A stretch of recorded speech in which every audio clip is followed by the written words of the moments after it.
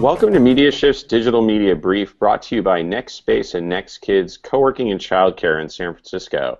I'm Mark Glaser with guests Hadas Gold from Politico, Meghan McCarty from KPCC, and Josh Stewart from Sunlight Foundation. The election season is upon us in the United States, and once again, social media is an outlet for organizing, reaction to debates, and political gab.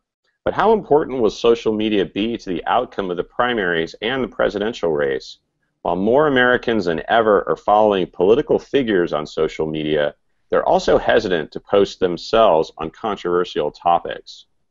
Hadas, how is this election cycle different than past ones when it comes to social media? This election cycle is different from past election cycles in that um, you're seeing a lot of the news driven by what candidates are posting on social media, especially candidates such as Donald Trump, who is very raw and authentic whenever he tweets. Um, oftentimes, his his retweets or tweets or Twitter storms, whatever you want to, whatever you pick of the day, are really driving news articles. Um, and he doesn't need to. He hasn't bought any single advertisement yet uh, because he gets all this free media just by going online. And he has said this himself. He said, "I don't need the Wall Street Journal. I don't need the New York Times.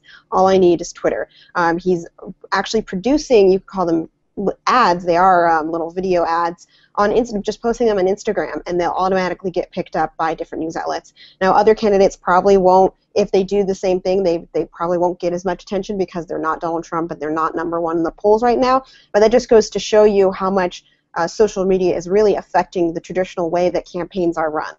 And Josh, how important is data for tracking campaign financing this time? I think this year, especially when you see in when we are going to see an unprecedented flow of money from into super PACs, into candidate committees, and now into these so-called dark money nonprofit groups that can spend money around elections.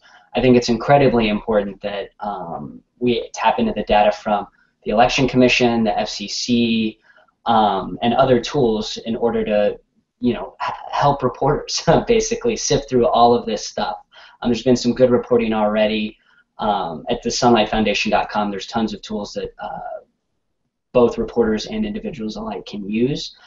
Um, and I think this year, sadly more than any other, we're going to see sort of the money in politics really reach, you know, you know, an unprecedented level. And tracking it's going to be incredibly important. And Meghan, tell us about the Make Al Care campaign that you did at KPCC.